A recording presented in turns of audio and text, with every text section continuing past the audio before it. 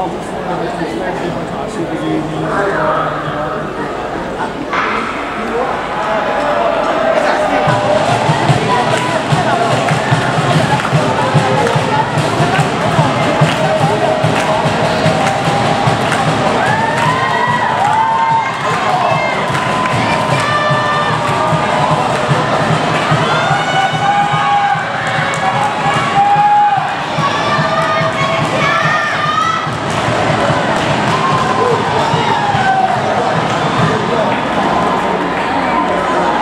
Pwede rin ito. ng